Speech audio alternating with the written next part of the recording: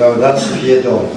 Amin. Amin. Căci Domnul este bun și îndurarea Lui ține în viac. Domnul fie lăudat. Amin. Haideți să deschidem Sfintele Scripturi la Evanghelia după Luca, capitolul 15, pagina biblică 1009.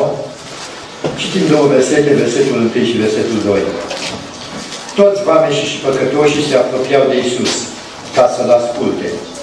Și fariseii și cărturarii cârteau și ziceau, omul acesta primește pe păcătoși și mănâncă cu ei.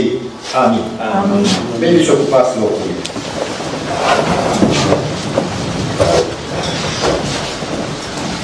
Binecuvântat să fie Dumnezeu, Tatăl Domnului nostru Iisus Hristos, care după îndurarea sa cea mare ne-a născut din nou, din învierea lui Iisus Hristos, la o nădejde vie, o moștenire nestricăcioasă și neîntinată, care nu se va vesteji, păstra, păstrată în ceruri pentru voi, spunea Duhul Sfânt, lăudați să fie Domnul.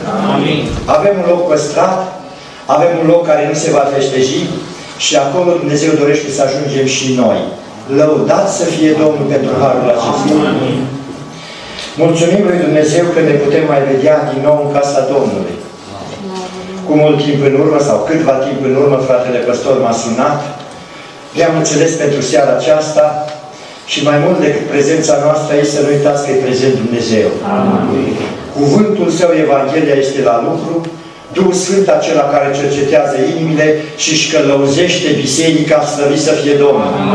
Aducându-ne aminte de cuvintele rostite de Domnul Iisus că biserica Lui nu va fi învinsă nici de porțile locuinței morților, că Cel veghează asupra cuvântului Său să fie împlinit și El zidește biserica Lui să fie slava în veci. Dacă făcea aluzie la trecutul meu, îi drept că a fost o vreme în care eram pe dincolo în diaspora la o biserică pe nume Ebenezer. Astăzi sunt tot la Ebenezer. Nu o să vă supărați dacă încerc să mă simt ca acasă. Dumnezeu să vă binecuvânteze. Dar integrându-mă în țară, am venit la biserica aceasta și sunt la Bătești și aș vrea să vă spun ca de păstori că tot Ebenezer. Așa că de trei ori, tot în Ebenezer am rămas și m-am gândit la un lucru. Cred că și dumneavoastră, ca și noi cei de acolo sau cei care au fost altă dată afară, avem motive să spunem, până aici Dumnezeu ne-a ajutat numele Lui să fie lăudat. Îi mulțumim lui Dumnezeu că se îngrijește de noi, că de fapt știți dumneavoastră, Dumnezeu ne vrea să fim fericiți. Și tocmai asta dorim și noi. Oamenii aleargă după fericire, caută fericirea, problema este că ei o caută exact unde nu trebuie. Fericirea poate să vină doar de la cine e fericit. Un om fără bani poate obține bani de la unul care are bani mai mulți. Dacă un frate sau o soră are bani mai mulți în portofel sau în poșetă, poate să ofere unui sărac bani pentru că are de unde să dea. Dar fericirea nu se găsește la oameni. Hai să citim în Cartea Domnului câteva cuvinte. Spune Apostolul Pavel prin Duhul Sfânt și scrie lui Timotei următoarele la capitolul 1, versetul 11. Potrivit cu Evanghelia slavei fericitului Dumnezeu, care mi-a fost încredințată mie. Vă rog să rețineți. Bunul nostru Dumnezeu este un Dumnezeu fericit. Aleluia. Este un Dumnezeu atât de fericit că El ne poate ferici și pe noi, slăvit să fie Domnul. Amin. Sau mai citim tot la 1 Timotei, capitolul 6, versetul 14 și 15. Ascultați! Să păzești porunca, Doamne ajută-ne, fără prihană și fără vină, până la arătarea Domnului nostru Isus Hristos, până va veni El, sau ne vom duce noi la El, să păzim cuvântul Domnului, legea Domnului sau porunca. Scrie Scriptura astfel, versetul 15, care va fi făcută la vremea ei de fericitul și singurul stăpânitor, împăratul împăraților și domnul domnilor, fie numele Lui lăudat.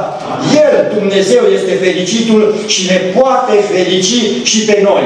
Și dacă ne uităm cu atenție în viața noastră și în trecutul nostru, îi mulțumim că ne-a făcut parte de fericiri. Și cât de fericiri și multe fericiri mai are Dumnezeu să ne dea. Mi-aduc aminte că într-o prejurare stătea Domnul Iisus Hristos de vorbă și o femeie a venit la el și a spus câteva cuvinte. În urma cuvintelor care le-a rostit femeia aceea, Domnul Iisus a spus în Evanghelia după Luca, versetul 11, capitolul 11, versetul 28. Femeia îi spunea, ferice de pântecele care te-a purtat și de sânii pe care i-ai sub. Iar Domnul Iisus a spus cu totul altceva. Și el a răspuns, ferice mai degrabă de cei ce ascultă cuvântul lui Dumnezeu. Slăvit să fie Domnul! Amin. Dar nu mai îl ascultă și îl păzesc. Și noi seara aceasta, prin îndurarea Domnului, am ajuns aici să ascultăm cuvântul lui Dumnezeu. Că Apostolul Pavel așa ne vorbește. Dacă vor cineva, dacă vorbește cineva, să vorbească cuvântul sau cuvintele lui Dumnezeu. Doamne ajută la aceasta. Dar până acum aș făcut o cântat. Ce să facem cu cântăreții?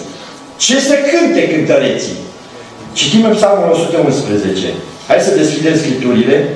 Acolo Domnul vorbește și despre cei care cântă. Dumnezeu nu uite pe nimeni, fie că au fost copilașii, fie că a fost grupul de aici din față sau surorile care au cântat duetul, spune Scriptura Psalmul 119, versetul 172. Să cânte limba mea. Numai acum când citim versetul acesta, vă rog fiecare să zică în dreptul lui. Eu zic în dreptul meu, dumneavoastră cântăreți, în dreptul dumneavoastră. Cei care nu sunteți așa specialiști în cântări, spuneți și dumneavoastră, să cânte limba mea. Ce? Cuvântul tău, mărit să fie Domnul. Cuvântul trebuie propovăduit, cuvântul trebuie cântat, cuvântul trebuie împlinit. Doamne ajută la aceasta. Și a binecuvântarea Domnului să fie peste noi toți, ca în continuare să avem grijă, să veghem asupra noastră, cuvântul să-L propovăduim, cuvântul să-L cântăm, cuvântul să-L păzim și astfel vom fi fericiți de Domnul care este cuvântul vieții, numele Lui să fie lăudat.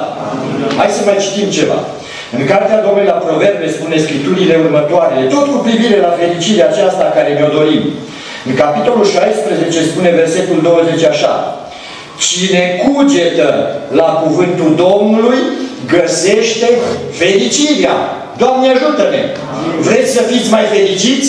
Vorbiți cuvântul, Cântați cuvântul, cugetați asupra cuvântului, că Domnul ne-a făgăduit fericirea Lui să fie slava în veci. Și vedeți dumneavoastră, spune Scriptura că oameni și și păcătoși se adunau sau mergeau la Domnul Iisus Hristos să-L asculte. El comunica, El le vorbea, El le spunea, îi învăța ceva. Doreau să asculte cuvântul ieșit de pe buzele sale. Și noi în seara aceasta suntem în prezența Lui și ascultăm și dorim să auzim cuvântul. Cuvântul este Cel care ne fericește. Numele Domnului să fie slăvit în toate.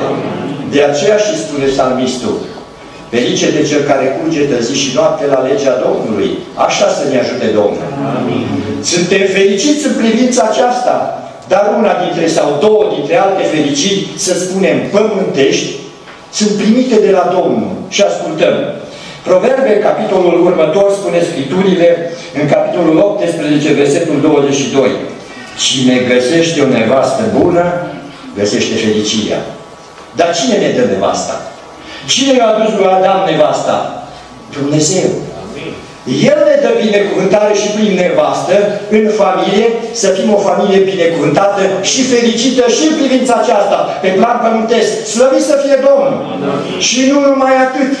Hai să recunoaștem, de fapt, bunătățile Domnului, căci cuvântul Domnului, care o altă dată oamenii doreau să-L asculte, alergau după Domnul Iisus Hristos și sorbeau cuvintele și spuneau, are învățătură nouă. Nimeni n-a mai vorbit ca El. E adevărat că nimeni n-a mai vorbit ca El. Plin de har și plin de putere, fie Domnul lăudat. Apostolul Pavel îi scrie lui Timotei, revenind la scrierile acestea, câteva cuvinte cu privire și la fericirile acestea, trăirile noastre pe pământ. Spune cuvântul Domnului tot la 1 Timotei, la capitolul 6, versetul 17, partea a doua. Dumnezeu care ne dă toate lucrurile din belșug ca să ne bucurăm de ele.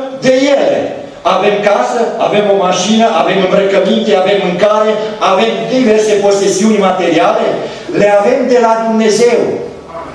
Mi le-a dat ca să ne arate că El este acela care vrea să ne facă bucurie prin acestea, să ne fericească și mulțumim lui Dumnezeu pentru aceasta. De fapt, Hai să vedem, dragii mei, că de fapt în toate acestea se dovedește dragostea lui Dumnezeu față de noi pământenii, slăvit să fie Domnul. Aleluia. Și toate acestea le face Domnul pentru fericirea noastră. Sau dacă vreți, haideți să citim mai în continuare ce spunea Domnul Iisus Hristos când era pe pământ. În Evanghelia după Matei, într-o împrejurare anume în cuvântările sale, prea iubitul nostru Mântuitor a spus următoarele.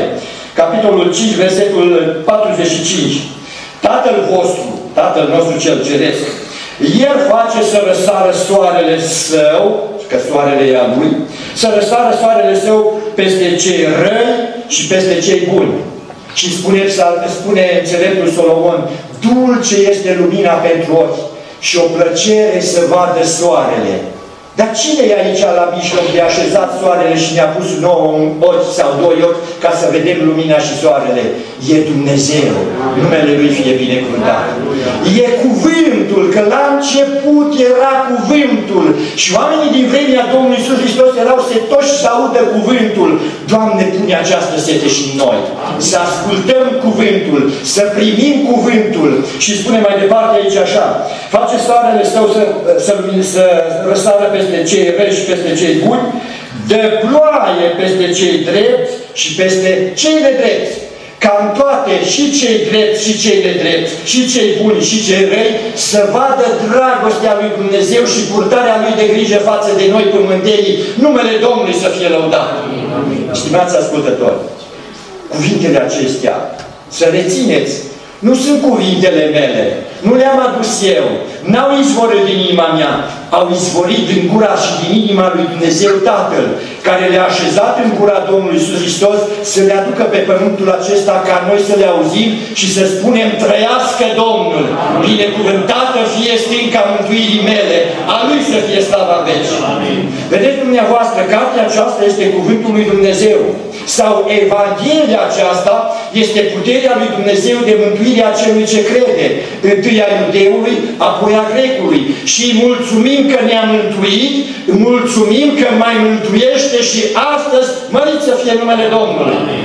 Cum ne raportăm noi la cuvântul Domnului? În Evanghelia după Luca am citit aceste două versete despre două categorii de oameni. Unii veneau la Domnul Isus Hristos și doreau să-L asculte. Aceștia erau vameșii, care în perioada aceea erau ei socotiți așa cum erau socotiți, nu intrăm în amănunte, să nu denigrăm pe nimeni, iar păcătoșii erau așa, păcătoși, ce să le mai spune? Mai mult de un păcătos, ce să spui? Păcătosul e păcătos. Dar oamenii aceștia, în starea lor de păcat și calificarea de vameși, care nu era prea uh, un lucru de cinste pentru ei, spune Scriptura că veneau să-L asculte pe Domnul. A doua categorie, spune Scriptura, farisei și cărturarii, oamenii care aveau cât de cât o carte, cât de cât uh, mai multă carte ca ceilalți, ei, spune Scriptura, își băteau joc sau cârteau și ziceau, omul acesta primește pe păcătoși și mănâncă cu ei. Dumneavoastră, seara aceasta, cu ce scop ați venit? Să ascultați cuvântul Cuvântul a fost cântat. Ați ascultat cuvântul cântat. A urmat sau urmează cuvântul vestit prin Evan, prin predică. Suntem gata să ascultăm cuvântul? Cum ne raportăm noi la cuvântul lui Dumnezeu? Mie îmi place să vorbesc de prima categorie de oameni de aici, nu de a doua. Fiindcă îmi place să cred că toți care am venit aici am venit să ascultăm cuvântul, să-L împlinim, să fim fericiți de Domnul, fericitul nostru Dumnezeu.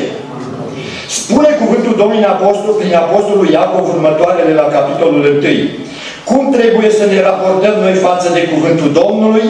Este foarte frumos detailat aici și scrie Scriptura în versetul 21, partea a doua.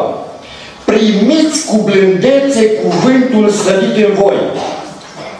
Adică cum? Ascult cântarea, ascult cântarea, ascult cântările, și ce se fac eu față de cuvintele care au fost rostite prin cântare?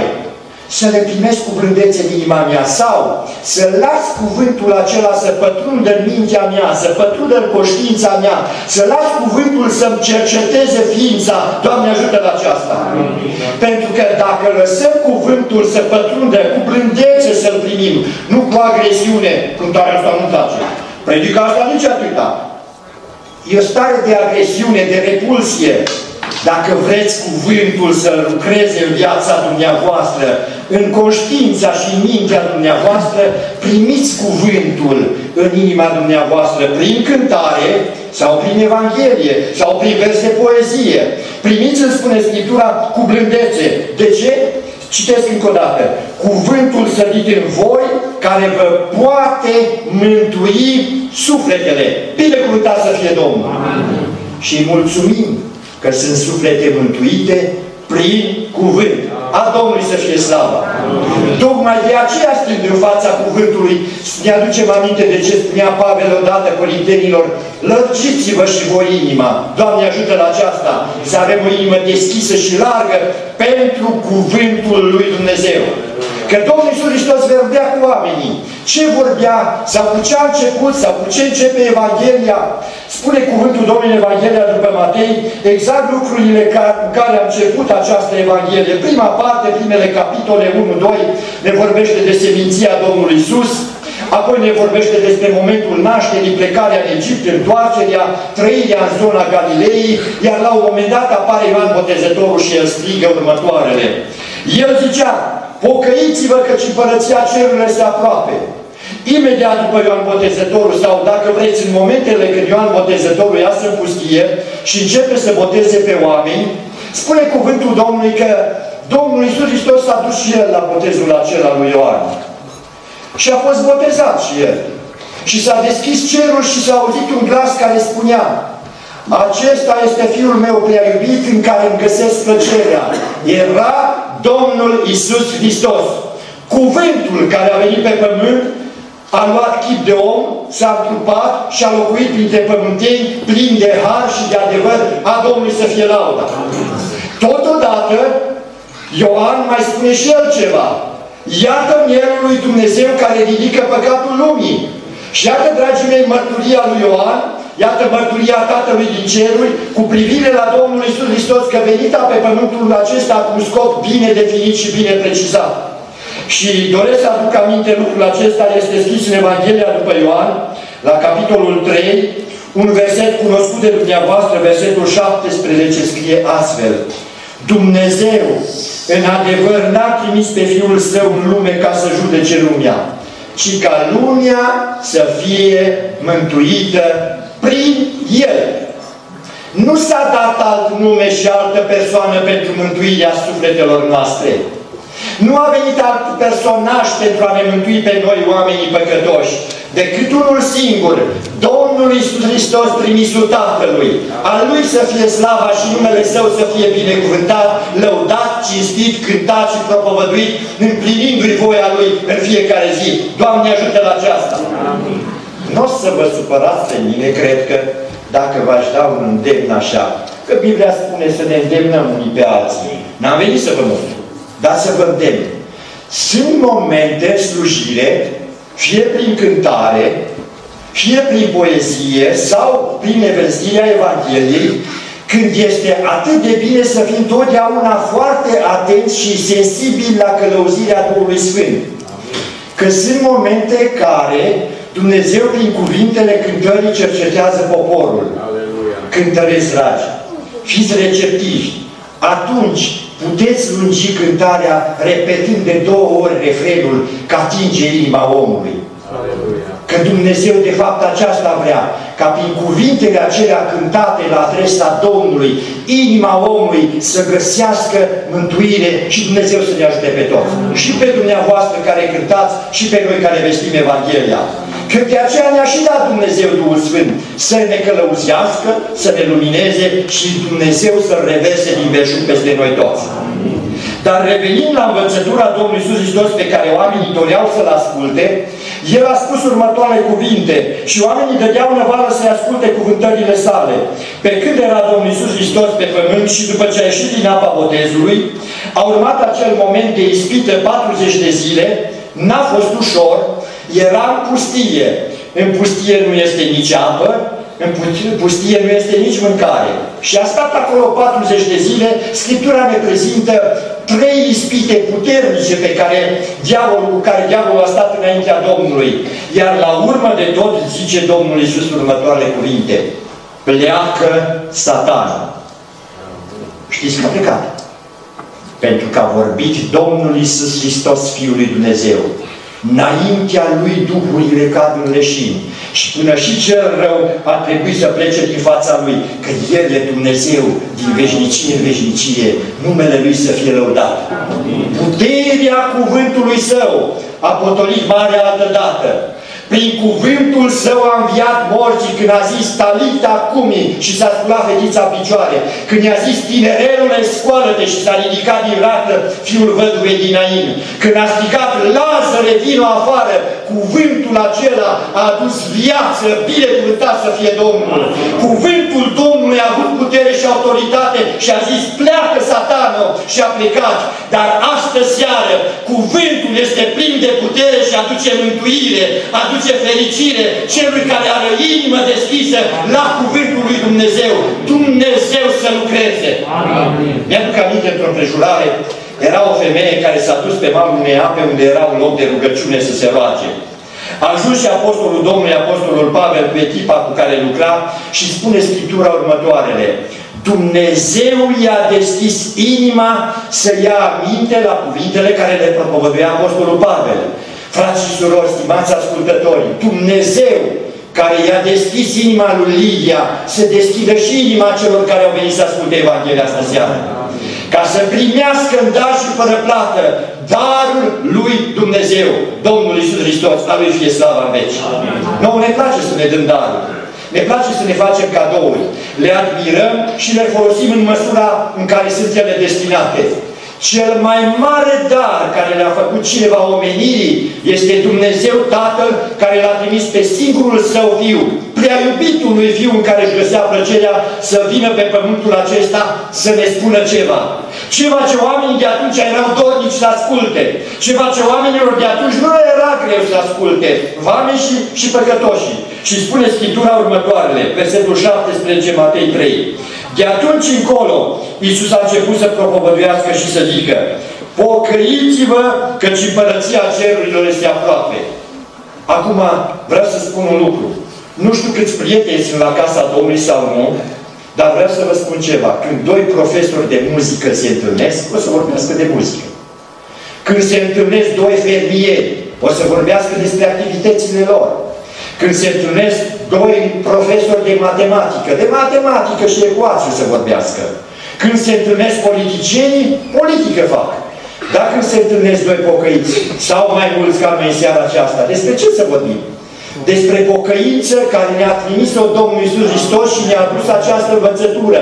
Pocăiți-vă și de asta vorbim, că sunt cuvintele Lui și cuvintele Lui sunt pline de har, pline de putere și dorim să lucreze la inima fiecăruia spre pocăință pentru mântuire. Doamne ajută la aceasta! Dar vă rog observați un lucru. Atât Ioan Botezătorul, cât și Domnul Iisus Hristos a folosit o expresie comună. Ioan spunea astfel, Pocăiți-vă căci împărăția cerului este aproape. Domnul Iisus, pocăiți-vă căci împărăția cerului este aproape. Identic. Într-adevăr, au venit să vorbească despre pocăință, dar totodată au avut în vedere mintea noastră, gândul nostru, privirea noastră, să nu mai fie direcționată în lumea aceasta, pentru viața aceasta de 60 sau 70 de ani, pentru cei mai tari de 80 Cine a direcționat privirea spre împărăția lui Dumnezeu de sus, din ceruri. O împărăție care a fost la început tare mică, o piatră mică care s-a rostogolit și s-a rostogolit și Daniel a spus că a umplut tot pământul și a ajuns și la Bocșa, slăvit să fie Domnul. De aceea, stimați frați și surori, cei ce ascultați Evanghelia, haideți să ne îndreptăm privirile spre Dumnezeu și spre împărăția Lui. Că mai înainte ne rugam noi împreună, Tatăl nostru care ești în ceruri, vie împărăția Ta, Doamne Adă. Tocmai de aceea, în vremea aceasta, să privim spre Dumnezeu și spre, privim spre împărăția Lui. Domnul asta propovăduia oamenilor, oameni care trăiau mult mai greu ca noi, oameni care erau rodii romanilor, oameni care erau unii liberi, alții sclavi, dar lăsând categoria socială, erau oameni păcătoși care doreau să-L asculte pe Domnul Iisus Hristos.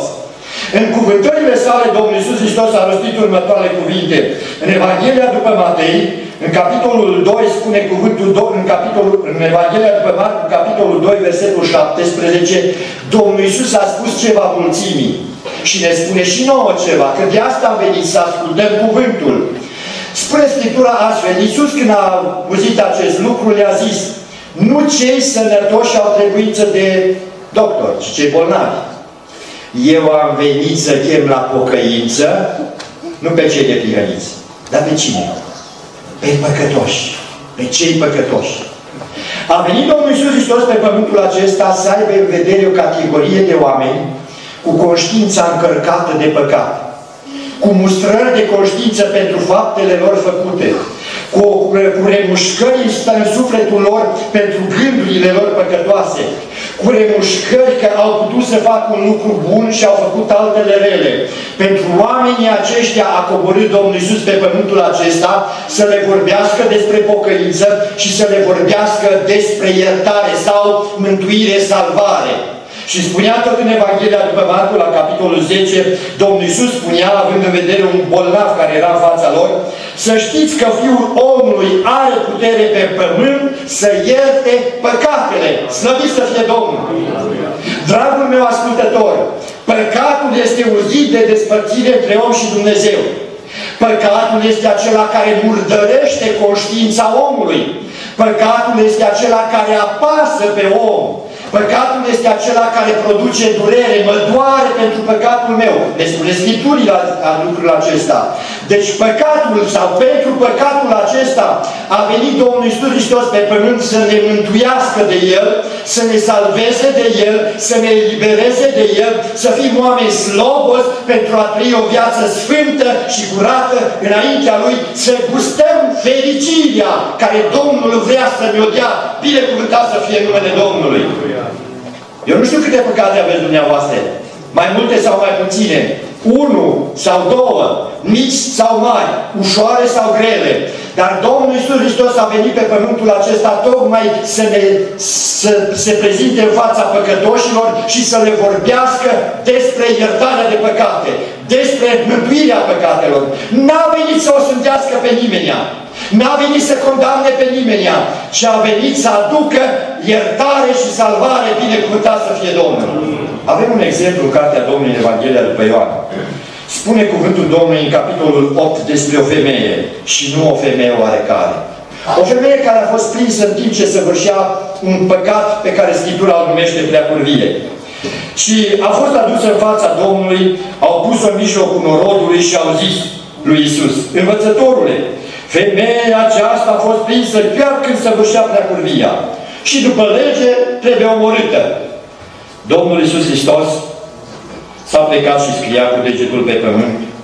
Ei insistau și mereu întrebau și fiindcă nu încetau să-L întrebe, El s-a ridicat în sus și le-a zis Cine dintre voi este fără păcat să arunce cel din tâi cu piatra mea? Și spune Scripturile următoarele. Apoi s-a plecat iarăși și scria cu degetul pe pământ. Când au auzit ei aceste cuvinte, s-au simțit mustrați de cugetul lor și au ieșit afară împreună. Dragul meu ascultător, cugetul dumneatale în prezența Domnului și a Evangheliei simte mustrarea, simte cercetarea cuvântului. În Cartea Împăraților omului Dumnezeu Solomon, când a terminat construcția templului, a rostit o rugăciune. O rugăciune în care doresc să fim integrați cu toții.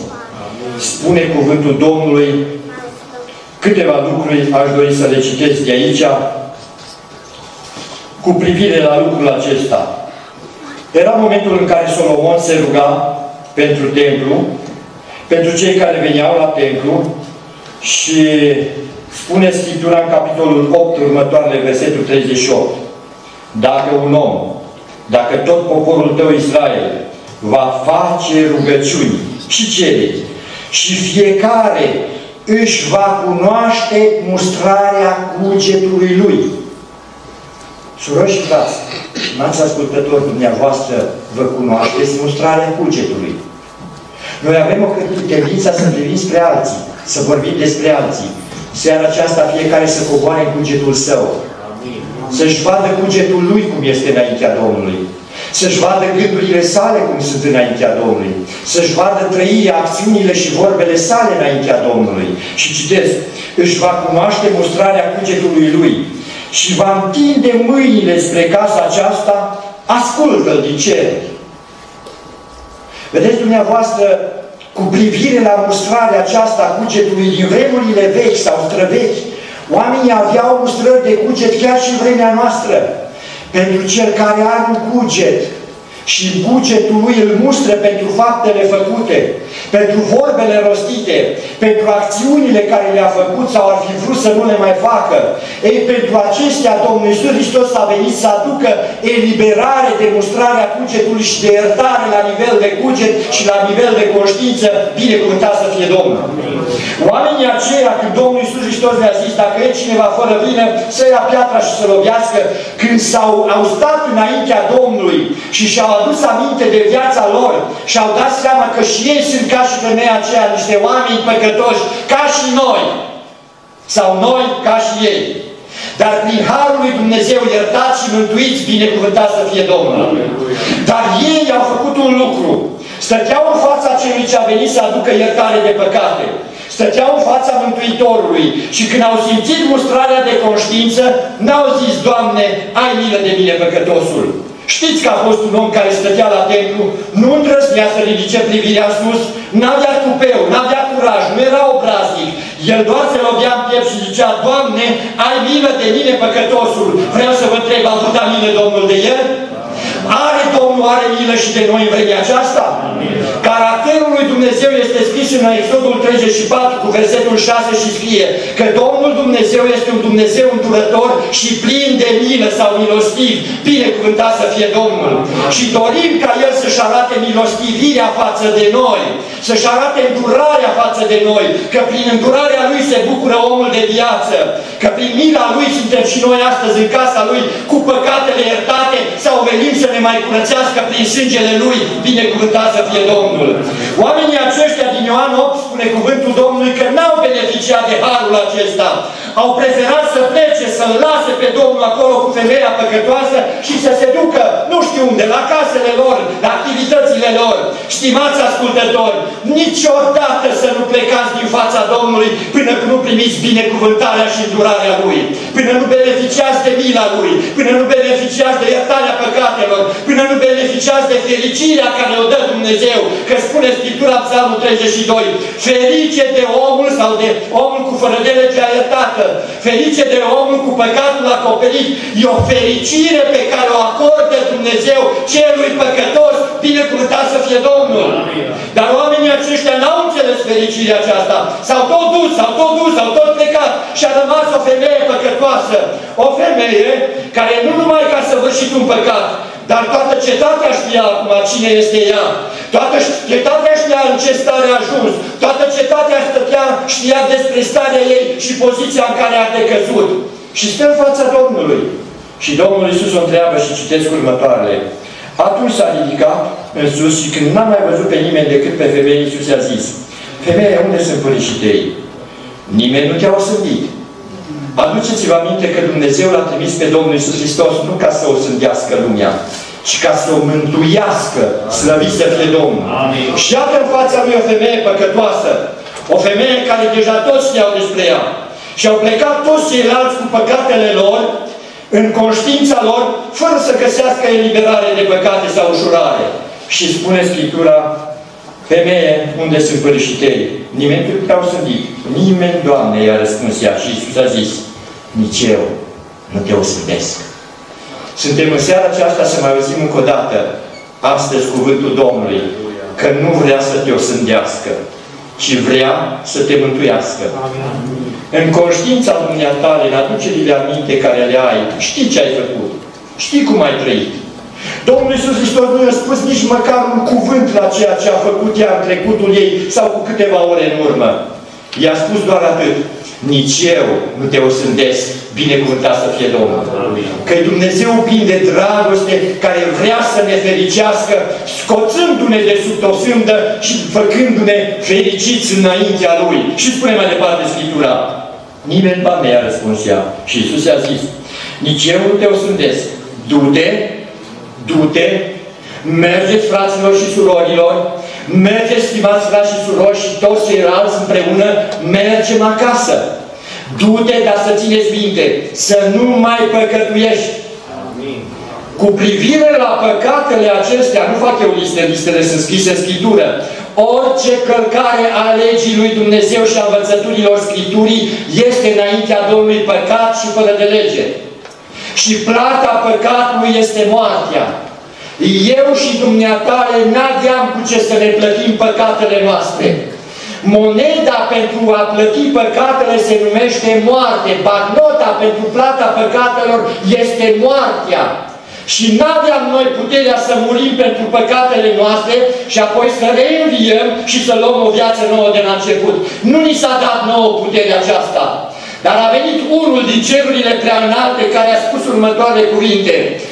Am putere să-mi dau viața și am putere să o iau înapoi. Acesta este Isus Hristos, Domnul vieții, care a venit pe pământul acesta să plătească El cu moneda viața Lui pentru mântuirea, pentru iertarea păcatelor noastre, pentru plata fără de legilor noastre. El, unicul Fiu al lui Dumnezeu, fără pată, fără cusur, despre care Ioan Botezătorul spunea, cum am spus la început, iată mielul lui Dumnezeu care ridică păcatul lumii, al meu și a dumneatale, mărit să fie numele Domnului, binecuvântat să fie Domnul, care s-a îndurat pe noi și l-a trimis pe Domnul să plătească în locul nostru, în veci să fie lăudat, în veci să fie slăvit, sufletul nostru să mărească pe Domnul și nu uita niciuna din binefacerile Lui, că El ne-a iertat, El ne-a mântuit, El ne-a salvat și El a zis, mă duc să vă pregătesc un loc. ca acolo unde sunt eu să fiți și voi. Mă duc și mă voi întoarce să vă iau la mine. Lăudați să fie Domnul care se îngrijește de noi și ne vrea fericirea, viața veșnică a Domnului fie slavă. În Cartea Domnului la Romani citim următoarele cuvinte. La capitolul 6 spune Scripturile astfel. Când erați robi ai păcatului. Când eram robi ai păcatului, făceam păcat. Când eram robi ai păcatului, găseam plăcere în păcate, în fără de legi. Dar când Dumnezeu, prin Evanghelie și prin Duhul Sfânt, ne-a luminat mintea și ne-a adus la această de stare de har să fim iertați, căci prin har suntem mântuiți, prin credință și acesta e darul lui Dumnezeu pentru noi, Doamne, îți mulțumim! Aleluia. Viața noastră s-a schimbat, mădularele noastre le-am dat Domnului ca mădulare pentru neprihănire în slujirea lui Dumnezeu, nu mai roabia păcatului. Și spune Scriptura mai departe așa, dar roadele de care acum Versetul 21. Ce roade aduceați atunci? Roade de care acum vă este rușine. Și nu numai rușine. Și nu numai rușine. Dacă ne este rușine de roadele păcătoase și păcatele care am trăit, dați-mi voie să vă aduc aminte că totodată cu rușinea sunt dezgustătoare. Nu mi le mai plac. Ne produc o senzație de repulsie. Nu mai găsim plăcere în păcat. De aceea, în viața noastră păcatul să fie absent. Roadele care aduce păcatul ne face să ne rușinăm și să ne gândim, Doamne, cum te-am putut să fac așa ceva? Doamne, cum te-am putut să trăiesc în păcatele acestea? Îmi aduce rușine în viață, mi-aduce repulsie de păcate, nu mai găsesc plăcere în păcat, ci găsesc plăcere în legea, cuvântul Domnului. Binecuvântat să fie Domnul! Astfel, în urma transformării pe care Dumnezeu o face în inima noastră, în mintea noastră, în centrul acesta, în universul acesta mic care l-a creat Dumnezeu și l-a așezat aici în craniu și a făcut o schimbare, oamenii teologii spun metanoia, adică s-a schimbat gândirea, nu mai gândesc într-un mod păcătos, ci gândurile mele sunt luminate de Duh Sfânt și am gânduri sfinte, măriți să fie Domnul. Nu mai gândesc la păcat, nu mai trăiesc în deșertăciunea gândurilor, nu mai găsesc plăcere în gândul meu la păcat, ci găsesc în Harul lui Dumnezeu mângăiere, în jertfa lui iertare, în jertfa lui spălare, bucurie că a fost iertat de Domnul, fericire că a fost salvat de păcate și mintea mea, inima mea, sufletul meu trăiesc această stare de fericire. Sunt iertat. Dacă altă dată păcatul m-a păsat în jos, acum nu mai simt apăsarea că Domnul a luat păcatul. Și știți ce a făcut cu păcatul dumneavoastră și cu păcatul meu? Omul lui Dumnezeu Petru spune următoarele. În întâia sa epistolă, la capitolul 2, spune astfel, citesc versetul 22 ca să fie o înțelegere. El n-a făcut păcat și în gura lui nu s-a găsit vicleșug. Când era bajocorit, nu răspundea cu bajocori. Și când era chinuit, nu amenința. Ce se supunea dreptului judecător? El a purtat păcatele noastre în trupul său pe lemn. Și imaginați-vă dumneavoastră trupul Domnului Iisus Hristos. A târnat pe lemn. În trupul Lui a purtat păcatul dumneatale. Minciuna, hoția, mândria, alte păcate mai dezgustătoare, nu vreau să fac lista aici, dar toate păcatele dumneatale și a mele le-a purtat El în neprihănitul miel al lui Dumnezeu în trupul Lui. Și din trupul Lui a început să curgă sânge datorită cuielor care străpungeau mâinile. În trupul Lui plin de răni a început să dea afară sânge de pe frunte curgeau sânge, din picioare curgea sânge și toate acestea, pentru că păcatele mele și a dumneatale, El le purta în trupul Lui și durerea morții și durerea păcatului și povara păcatului și murdăria păcatului le-a suportat El pe cruce ca noi să găsim în jertfa Lui răscumpărare și prin sângele Lui iertare de păcate. Binecuvântat să fie Domnul! Că Scriptura spune Evrei, capitolul 9, următoarele lucruri, versetul 22. Și după lege, aproape totul este curățat cu sânge și fără vărsare de sânge nu este iertare. Sângele Domnului Iisus Hristos a curs pentru săpărarea mea și curățarea mea și a dumneatale de orice păcat. Fie Domnul binecuvântat. Aș dori să nu uităm asta niciodată. Aș dori să ținem minte lucrurile acestea totdeauna. Și vreau să nu uitați că jertfa Domnului Iisus Hristos are valoare și astăzi. Sângele care altă dată a curs prin credința în sângele Lui spală și curățește și astăzi. Măriți să fie Domnul! Amin. Tot Apostolul Petru spune în scrierile sale, la capitolul 1, următoarele cuvinte, cunoscute de dumneavoastră. Știți că nu, versul 18 zice, că nu cu lucruri pieritoare, cu argint sau cu aur ați fost răscumpărați din felul de cer de vețuire. Dar cu ce au fost răscumpărați? Ci cu sângele scump al lui Hristos, mielul fără cusur și fără pată. Sunt multe bogății în lumea aceasta. Au valorile lor. Dar mai presus de toate bogățiile lumii acestea și a valorilor omenești care noi le putem vedea sau nu le vedem, mai presus de toate sângele scump, cel mai valoros a Domnului Iisus Hristos, a curs pentru noi ca prin sângele Lui scump, noi să fim iertați de păcate, binecuvântat să fie Domnul. Sângele Lui nu valorează 100 de euro. Sângele Lui nu valorează 1000 de euro. Sângele Lui noi nu avem cu ce să le echivalăm, dar să nu uitați un lucru. Tot sângele Lui a curs pentru iertarea păcatelor noastre. Când, sol, când soldatul roman, acel sutaș roman a luat sulița și a înfipt-o în pieptul Domnului, spune Scriptura că a curs din pieptul Domnului sânge și apă a dat tot sângele pentru dumneatale și pentru mine, ca prin sângele Lui, noi și în seara aceasta să ne aducem aminte că am fost curățiți de păcatele noastre, măriți să fie Domnul! Amin. Și mai cântăm o cântare care spune E puterea ce minuni face. Sângele mielului să facă minuni și astăzi. Să-ți aduc aminte, dragul meu, de minunile care Domnul le-a făcut El prin sângele Lui în viața dumneatale. Și să rugăm, Doamne, acopere-le cu sângele Tău. Sângele Domnului curățește, sângele Domnului spală, dar vă rog să țineți minte, sângele Domnului Iisus dă biruință împotriva diavolului. Și lucrul acesta îl citesc repede. În Apocalipsa, la capitolul 12, spune Scripturile următoarele, versul 11, despre Sfinții Martiri. Ei l-au biruit pe diavolul prin sângele mielului. O, Doamne, lasă sângele Tău peste noi.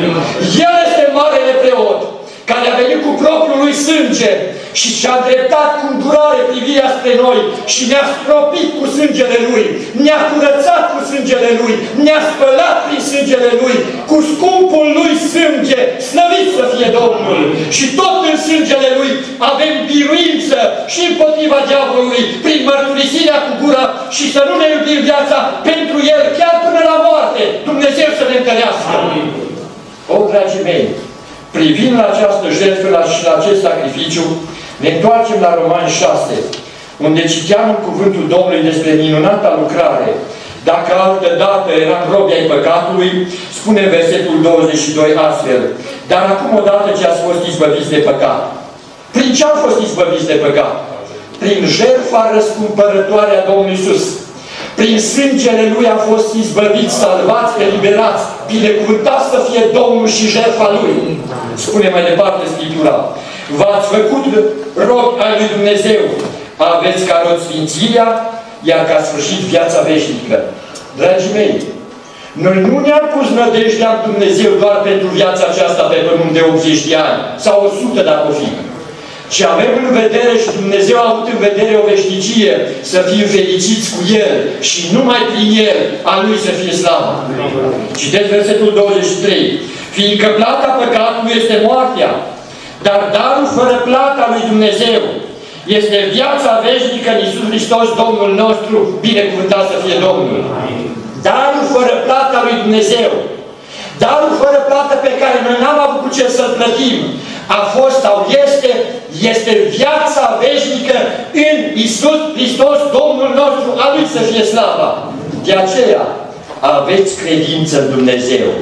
Aveți credință în mine, spunea Domnul Iisus Hristos este singurul care ne vrea fericirea, că de la El vine viața, puterea și mișcarea. Și dacă suntem în viață, dacă ne mișcăm, dacă avem putere să comunicăm unii cu alții și să umblăm pe fața Pământului, este pentru că Dumnezeu e viu. A Lui să fie slavă. Și a murit Domnul Iisus Hristos pentru noi. Dar nu s-a terminat aici. Citesc în Cartea Domnului la Faptele Apostolilor, la capitolul 13, Apostolul Pavel, pe când propovăduia Evanghelia, a spus următoarele versetul 37. Dar acela pe care l-a avea Dumnezeu n-a văzut putrezirea. Acela este Isus Hristos care a murit pentru păcatele noastre. El n-a rămas mort, a fost înviat de puterea lui Dumnezeu și șade la dreapta Tatălui, ca mijlocitor între noi, oamenii, și între El Dumnezeu. Binecuvântat să fie El în veci. Amin. Amin. Știți, într-o prejurare s-a apropiat de Simon Petru și a zis, Simone, Simone, satana a cerut să vă ceamă ca pe greu, dar eu m-am rugat pentru credința ta să nu se piardă. O, ce minunat să știm că avem un mijlocitor. Am putea să-i spunem, Doamne, vremurile acum care le trăim noi, mijlocește înaintea Tatălui să nu ni se piardă credința. Amin. De ce? Pentru că într-o împrejurare Domnul Iisus a spus următoarele cuvinte. Dar când va veni Fiul omului în slavă, va găsi El credință pe pământ Doamne, îndură-te de biserica ta de la Bocșa. Să nu-i să piardă credința prin orice va trece. Și să nu uitați, avem biruință sângele El. A Lui să fie laudă. Citesc. Să știți, dar, fraților, că în El vi se vestește iertarea păcatelor. În cine?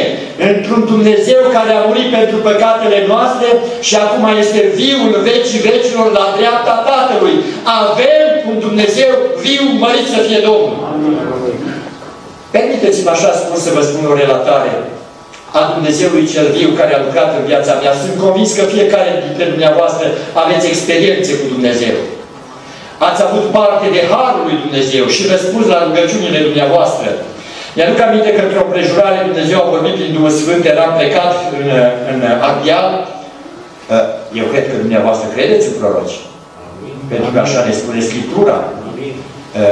Și mi-a vorbit printr-un vas de lucruri, zice, vei primi o binecuvântare, în vremea când vei primi binecuvântarea, te vei bucura și apoi uh, inima ți se va umple de tristare. De scurtă durată și bucuria va fi de plină.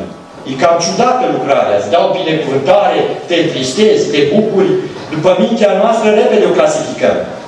Dar nu după mintea lui Dumnezeu. Soția mi-a rămas însărcinată cu a doilea copil, a născut, eram la serviciu și când a născut, primesc telefon.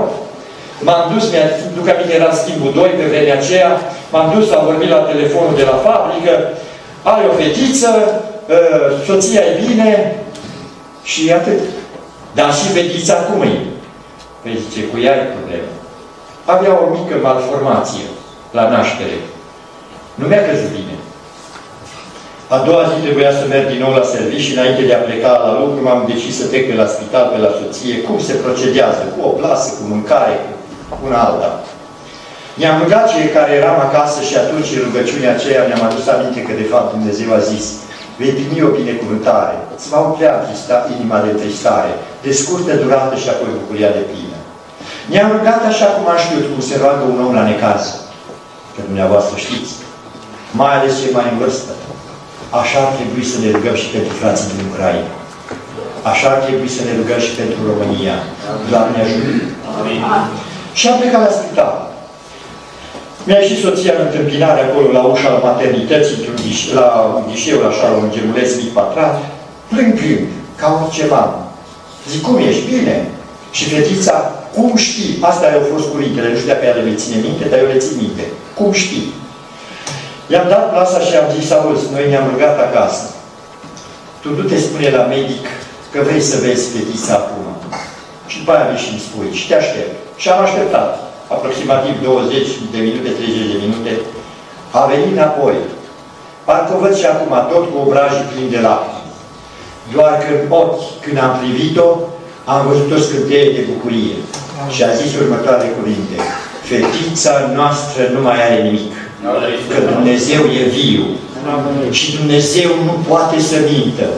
Când El a spus că ți-a iertat păcatele prin sângele Mielului, fii convinsă, fii convins că ești iertată. Pentru aceasta e nevoie. Să faci ce făceau oamenii pe vremea lui Ioan Botezătorul. Când au auzit ei vestea despre pocăință și împărăția cerurilor și au dat năvală să laudă pe Ioan Botezătorul, apoi au dat năvală să laudă pe Domnul Iisus Hristos, au alergat la Ioan și mărturisindu-și păcatele, renunțând la păcate, că așa spune și Cartea Proverbelor, cine își mărturisește fără de legea și se lasă de ea, capătă îndurare. Doamne, revasă-ți îndurarea. Dar și noi să fim oameni hotărâți.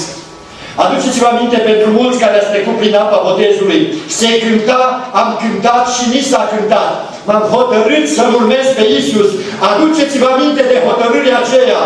Ani în urmă, reactualizați hotărârea, slujiți-L numai pe El, trăiți numai pentru El, sfințiți-vă numai pentru El, iubiți-L numai pe El, că Scriptura spune, El este singura mea fericire, binecuvântat să fie Domnul. Amin.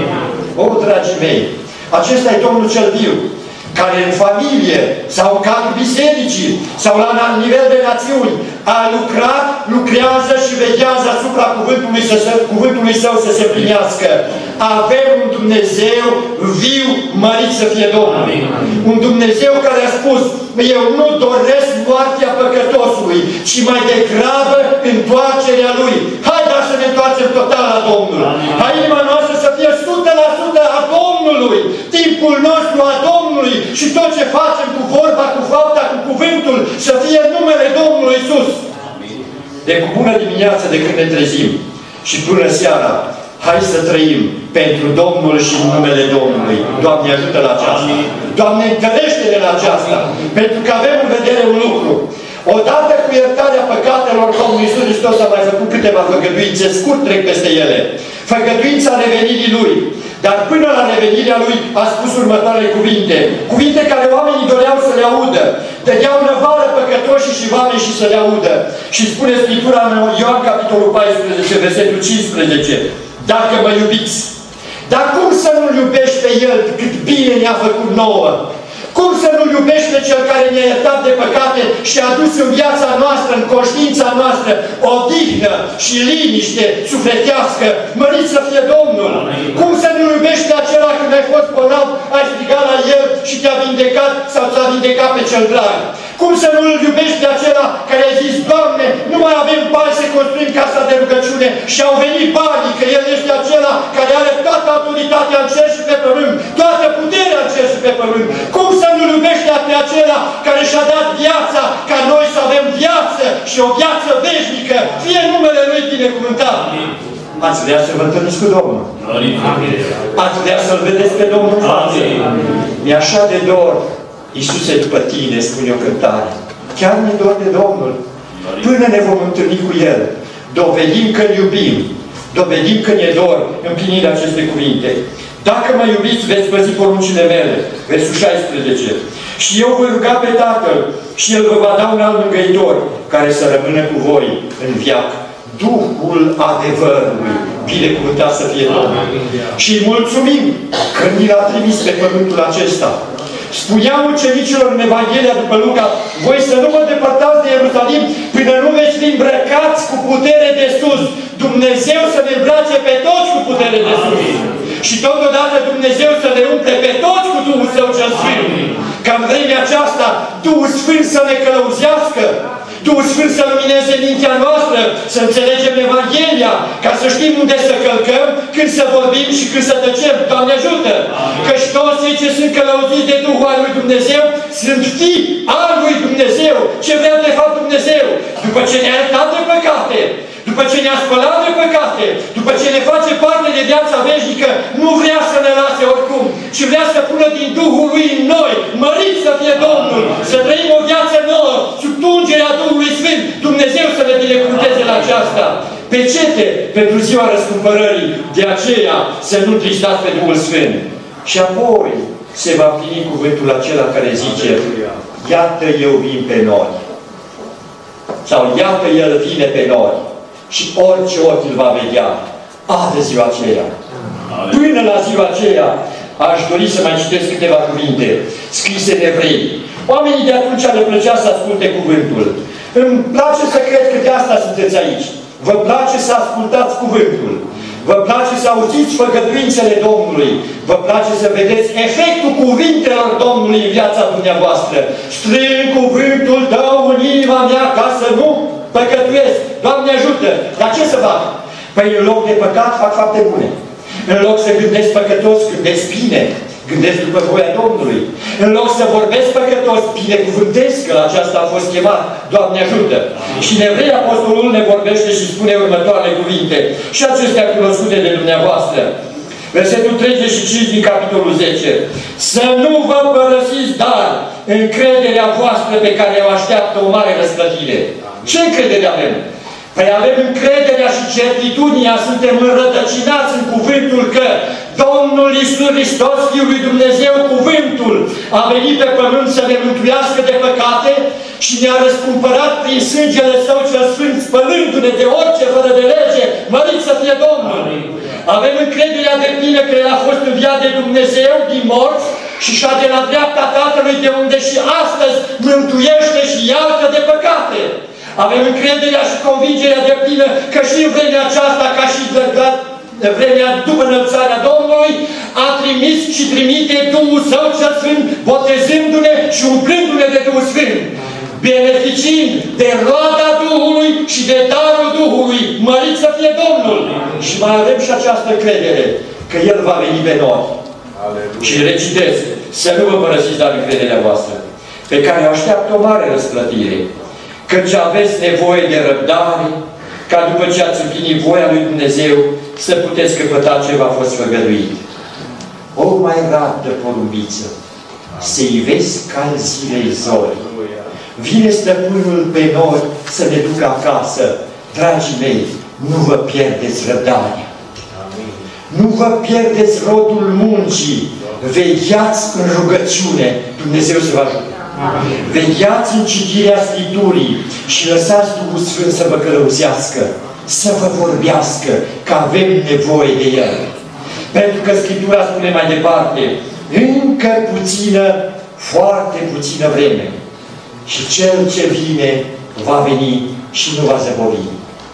Și spune Scriptura în Apocalipsa, în capitolul 22, cuvinte cu care mă apropii de încheiere, aici spune astfel, și Duhul și Mireasa zic, versul 17, vino. Și cine aude să zică vino. vino. Ce ați dorit dumneavoastră în momentele de față? Să se încheie războiul? Să vă căsătoriți copiii? Să vă rezolvați problemele financiare? Sau să vină Domnul? Cineva îmi spunea într-o prejurare, frate Gigi, eu n-aș vrea să vină Domnul. Ce puțin mai eu. Păi zice, eu știi, n-am avut mașină, aș vrea să văd cum e aia, să ai și mașină și după aia poate să vină Domnul. Vreau să vă spun că vorbele astea au fost rostite cu ani în urmă. Au fost rostite așa cum fiecare le clasifică. Dar astăzi omul acela, în nefericire, nu-i mai dintre noi. Nu că a murit, ca dacă vreți a murit sub altă formă. De aceea, iubiți pe Domnul, prețuiți jertfa Domnului Isus, prețuiți sângele Mielului, prin care a fost răscumpărat scump sângele Lui, că a fost răscumpărați pentru veșnicie. Și Duhul și Mireasa zic vino. Și cine aude să zică, vino, Doamne Iisuse. Un poet creștin spunea următoarele cuvinte. Pe bolta cerului albastru, din slava tronului înalt, e aproape clipa când să apară un prinț de slavă coronat. Și acesta prinț se cheamă Iisus. E Mesia, Sfânt Împărat. Când vine El cu slavă mare și ochii tăi îl vor vedea. El va striga cu glasul tare, O vino tu, mireasa mea, că ce destulă suferința, e ziua cununiei tale, e ziua să se cânte mărire, slavă, osanare. Atunci va fi o zi semnată cum n-a mai fost din veșnicii, când lacrimile îți vor fi șterse, urmând eterne, eterne bucurii. Doamne, fă parte de ele. Amin. Amin.